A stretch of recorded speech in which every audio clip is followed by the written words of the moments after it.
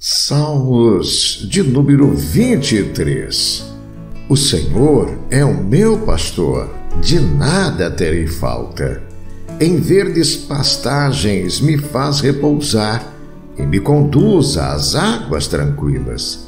Restaura-me o vigor, guia-me nas veredas da justiça por amor do seu nome. Mesmo quando eu andar por um vale de trevas e morte, não temerei perigo algum, pois tu estás comigo, a tua vara e o teu cajado me protegem. Preparas um banquete para mim à vista dos meus inimigos. Tu me honras, ungindo a minha cabeça com óleo e fazendo transbordar o meu cálice.